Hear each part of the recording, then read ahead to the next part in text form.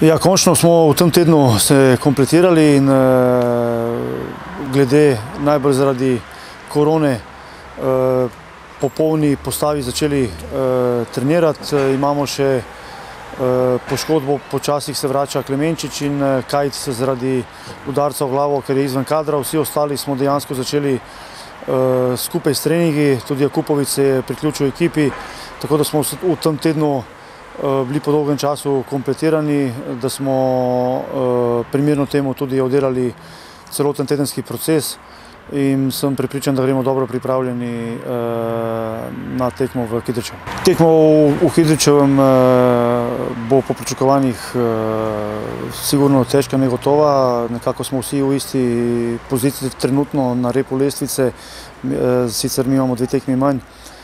Na, glede na zadnje tekme in vsebino, ki smo jo prikazali, smo lahko, se se lahko navdajamo z optimizmom.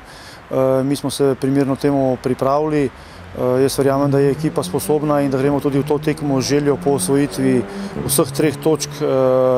Vemo tudi, da smo, da so, da nas pestijo tudi te težave, ki smo jih imeli v zadnjem času, ampak ne glede na vse to, jaz verjamem, da bomo še nekaj dodali tisti vsebini, ki smo jo prikazali v Mariboru in da bo to tudi dovolj za osvojitev točke.